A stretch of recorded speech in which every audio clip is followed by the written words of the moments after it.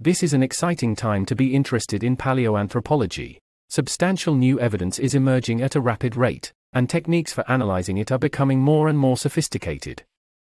But, as the arc of evolution becomes more apparent, the story also grows more complicated, murkier in the specifics, and there is no question that there will be more shocks in store.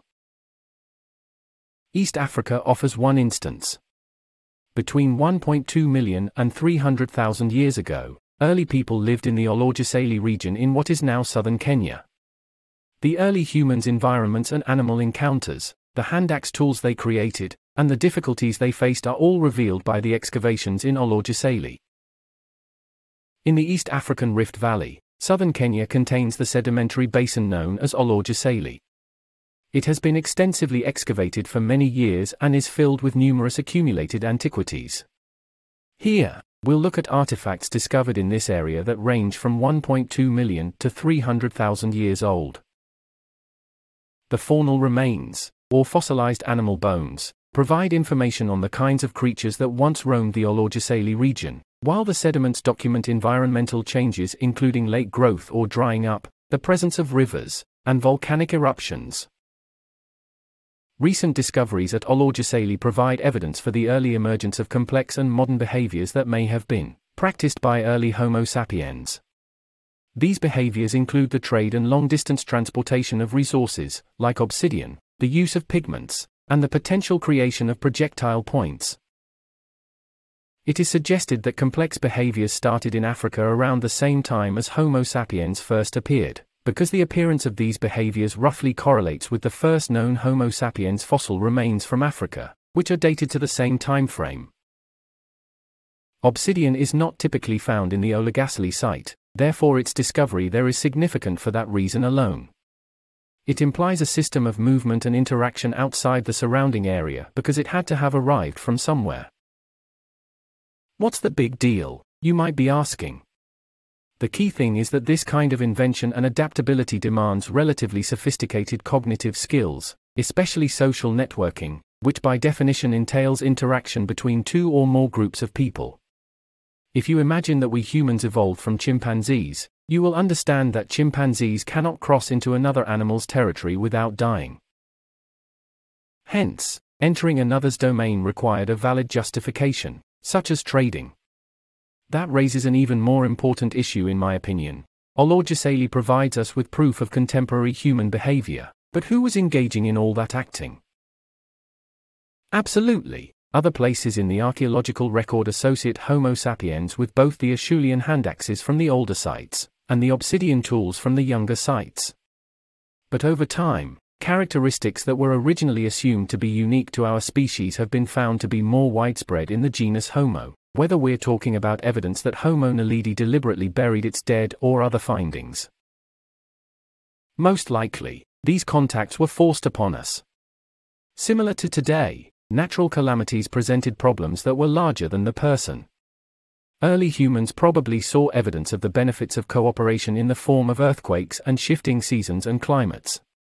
It's possible that this shift to a more complicated set of behaviors, involving more advanced cognitive functioning and intricate social networks, was what separated our lineage apart from other early humans.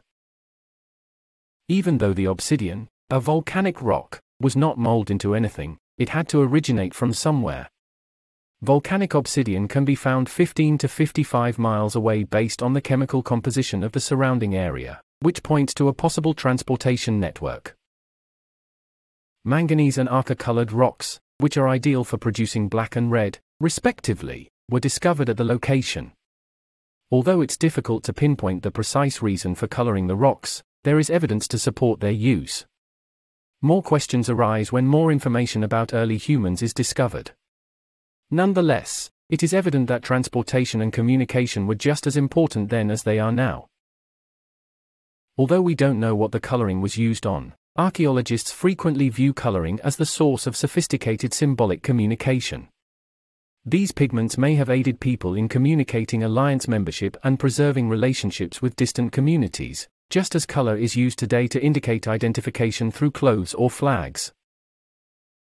the Smithsonian research team started digging along the main volcanic ridge connecting the lowlands to Mount Olorgesailie after decades of discovery of thousands of animal fossils.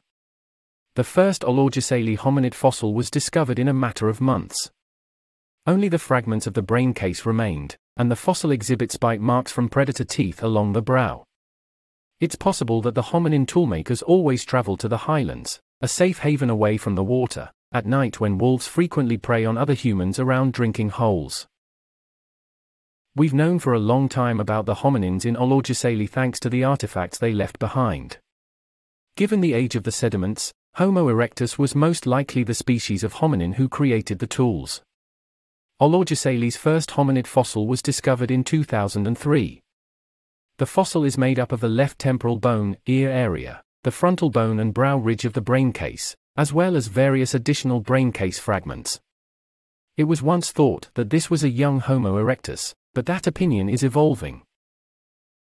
The human was small, with a cranial capacity, brain case size, of about 700 to 800 cubic centimeters. The fossil is thought to be about 900,000 years old and comes from a layer that is above, younger than, a volcanic layer that is about 974,000 years old.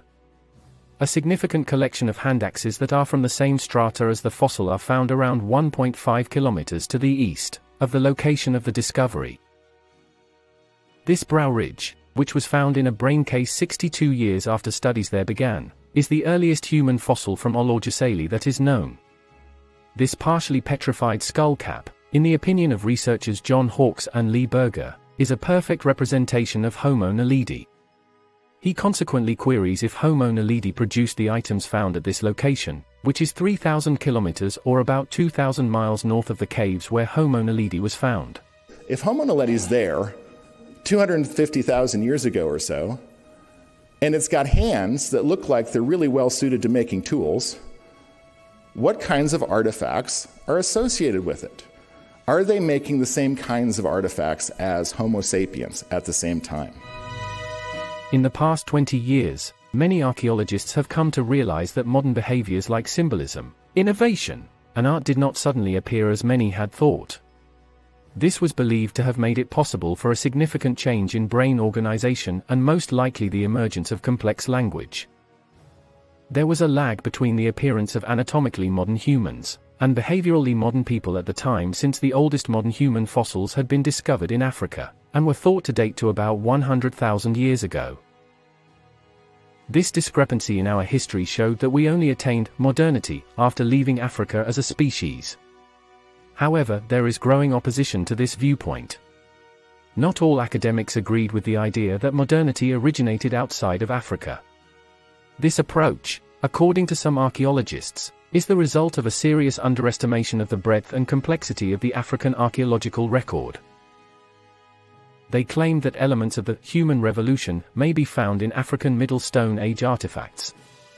The Middle Stone Age in Africa is distinguished by the lack or scarcity of massive cutting tools, and the availability of prepared core technology for the manufacture of complex points and blades. Importantly, the transition from the African early to Middle Stone Age took place as Homo sapiens, our own species, was expanding across the continent. For this reason, it may be tempting to view the emergence of the earliest Middle Stone Age technology as a cultural indicator connected to the evolution and appearance of our own species, a smoking gun for proof of the modern human mind.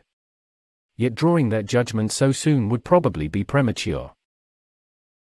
At the Olorgesailie Basin, a great deal of artifacts and animal bones have been discovered, however few of these are hominid remains.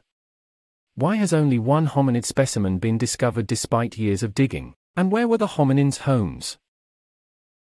The location of the hominin fossil may hold the key to the solution.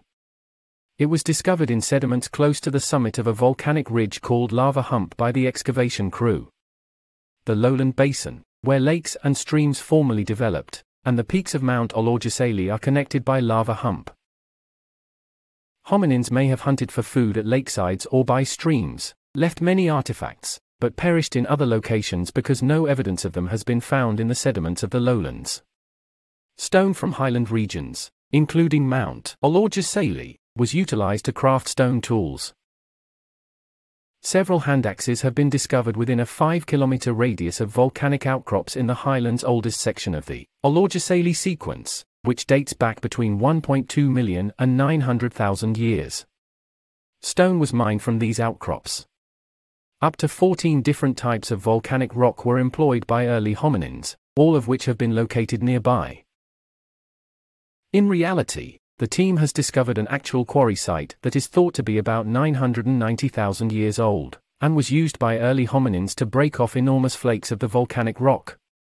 In this location, hominins tested the stone and started crafting hand axes out of the best pieces, those without mechanical defects. Right at the stone's source, tens of thousands of objects were discovered, the most of which were scraps from the manufacturing of tools. It is known that quartzite and obsidian formations occurred 48 kilometers and 18 kilometers, respectively, from the basin. Although though just a small number of tools constructed of these two kinds of rock have been discovered at Olorgesailie, they show that hominins traveled at least these lengths of distance. Because they could move around, the first humans of Olorgesailie were able to find food and water year-round and tolerate more extreme, infrequent changes in their environment. At Olorgesailie, hominins encountered a wide range of creatures. However, Olorgesailie's fossil fauna was distinct from that of several other East African fossil sites. At Olorgesailie, equids, or zebras, made up the majority of the fossilized mammals, although in other locations, bovids, or antelope-like species, predominated. Equus oldowayensis and Theropithecus oswaldi, two huge primates that were expert grazers, were also present in the strata where the hominid was discovered.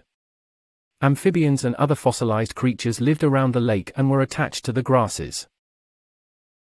The team has determined that early people frequented Hyena Hill frequently around 990,000 years ago. A significant number of stone tools and bones that were hacked and cracked open for sustenance by early humans have been discovered during the excavations at Hyena Hill. Hyenas were present among the fossilized creatures found in Hyena Hill as well. The scientists discovered an old den where hyenas had resided at a time when early people were also present in this region.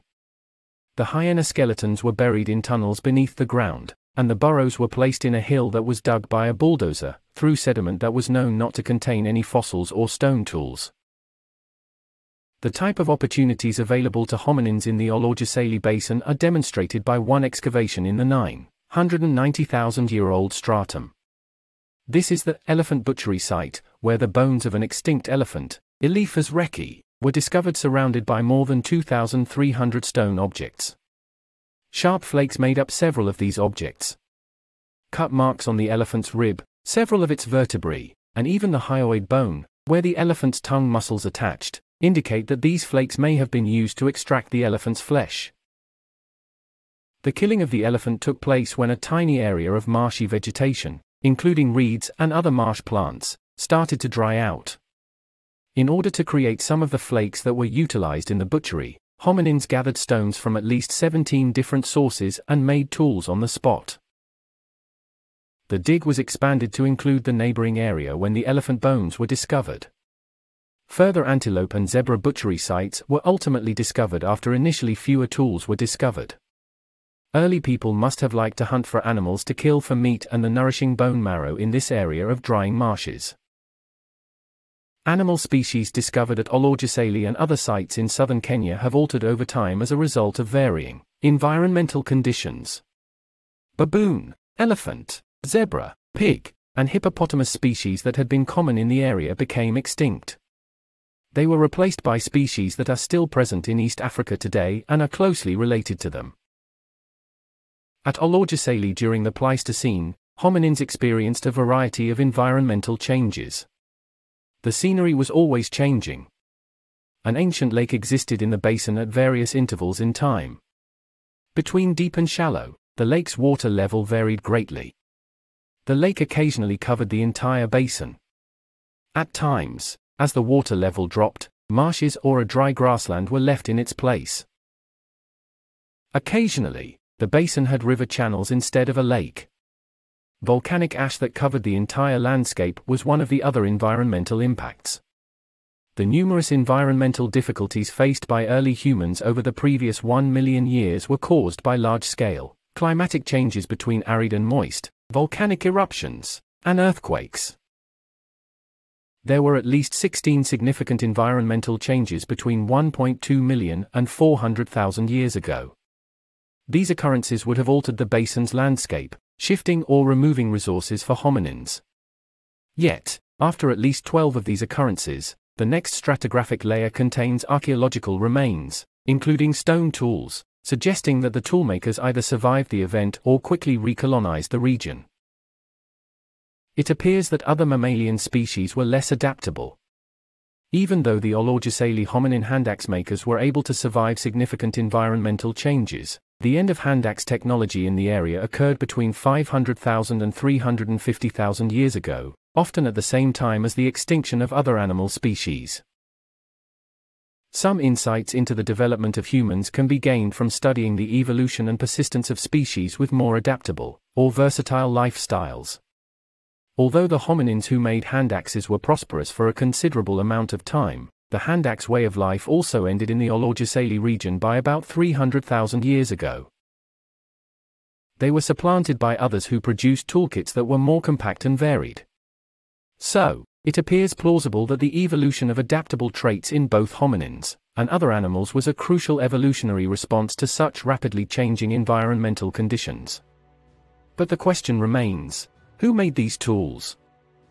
Was it Homo naledi or early Homo sapiens? The relationship between pre and fully modern human fossils and early and middle Stone Age remains complicated and unclear elsewhere in Africa. Early Stone Age sites dating back before 400,000 years ago have parts like blades and prepared cores. These are linked to ancient human fossils rather than more recent ones, such as those found in the Cave of Hearths. On the other hand, we also know that modern people continued to produce Acheulean big cutting tools long into the Middle Stone Age, as seen, for instance, at the 160,000 year old site of Herto in Ethiopia. It does appear that the human revolution that gave rise to modernity never actually occurred because there is archaeological evidence that modern behaviors began to emerge much earlier, in cultures that existed before our own species. There are many older examples of every characteristic that has been traditionally used to distinguish modern humans from archaic humans, including culture, art, how the deceased are treated, decoration, and abstract symbols. Yet, the association between complex behaviors and hominin species between 500,000 and 160,000 years ago, when numerous species of hominins, not only modern humans, inhabited the African continent, is still not fully understood. In reality, revolution is easier to explain than gradual complex development. Suddenly, we have found a small brained hominid that's primitive, that's not a human. Not anything like one of those large brain hominids. And it's sitting right there in the middle of southern Africa. Around it is a plethora of archaeology that we call the early Middle Stone Age. What if we got that narrative wrong? What if Homo naledi is doing all that? Now, probably a lot of archaeologists, the moment I say something like that, will go puce and grab their heart and say, but we know modern humans did that. And my colleagues and I say, well, show us the evidence.